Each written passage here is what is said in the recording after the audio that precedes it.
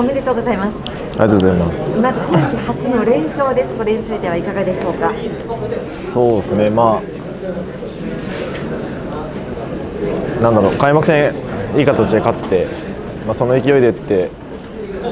2節目も臨んだんですけどちょっとこう自分らの思うような時間帯というかサッカーがなかなかできない試合でその後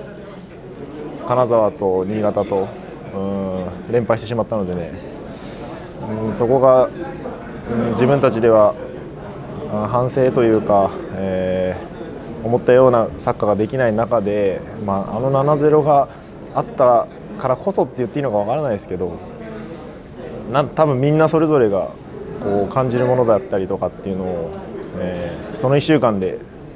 すごくトレーニングの中から声かけたりとかできたのでねそれで前節勝てて、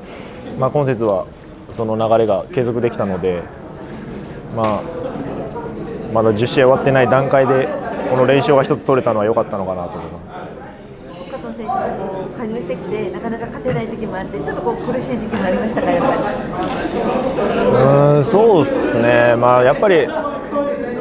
勝てればねベストなんですけど。でもその自分で言うのもなんですけどうーん、まあ、負けから学ぶことがすごく多いのでうんそういう意味では、まあ、苦しい中ではありますけど気持ちとか行動っていうのはできるだけポジティブにやれているので、うんまあ、それはいいのかなと思って。あのーその中でも、最終ラインから縦パスポンと通すところとか加藤選手のプレー見てみてああやっぱすごいなと思うところが多いんですけどご自身としては手応えはいかがでしょうか？まあ、ベルディのやるサッカーがこうすごく明確でね戦術的にも、えー練習から落とし込んでやってくれているので、まあ、こう自分の中では選択肢の一つとして常に持ってますしそれも受け手が、ね、いることで、え成立することなので、うんまあ、そういうのをよりコミュニケーションを深めながら ああいうシーンは、まあ、僕がいいというか、まあ、そこに味方がいてくれることもあるので。まあ、そういう意味では味方に感謝しながらっていうのは、まあ、日頃から思ってます。そして今日であの J 通算300試合の節目のゲームということになりました。300試合とこう一言に言ってもこう積み重ねてきたなっていう感じがするんですけどご自身としてはいかがでしょうか？そうですね、まあ、さっき言ったように常になんかこう失敗とか負けとかそういうものから学ぶことが多い、まあ、僕の中でのサッカー人生なのでうん多分通算にしてもおそらく負け越してるんではないかなって、まあ、ちょっと分かんないですけど。だけどそうやって常にこう自分で、えー反省しながら課題を見つけて、まあ、その中で今までやってきたスタッフとか選手とかの存在があった上でこういうふうに積み重ねてきてることなので、うんまあ、僕の個人的な記録ではあるんですけど、まあ、やっぱりそういう感謝っていうのは忘れちゃいけないのかなってこういう節目になると、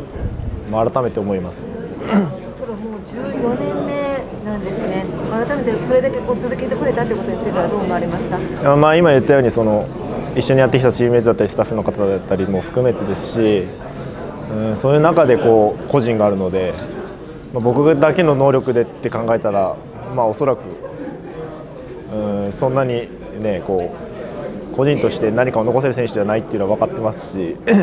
味方に生かされながらそして味方を生かしながらこういうふうに積み重ねてこれたことですし、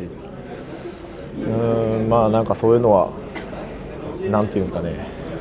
まあ、さっきも言ったように感謝が大きいですね。そしてチームはこの後3連勝4連勝を目指していくことになると思います。今後に向けても一言お願いします。うんまあ、昔若い時にこうベテランの選手に言われたのが、まあ、良くも悪くも次に切り替えが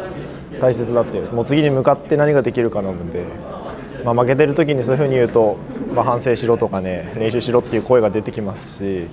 まあ、勝ってる時には謙虚にそういうふうに向ける選手は多いんですけど、まあ、本当改めて一試合一試合をこう積み重ねて、まあ、その今話してた僕の300試合もそうですしだから結果的にじゃあ何連勝できたっていうふうになれれば、まあ、目先に先に3連勝が来てしまうとやっぱりうん足元見れなくなってしまったりするのでもう本当次に向けていい リフレッシュしてまた準備に入れればなと思います。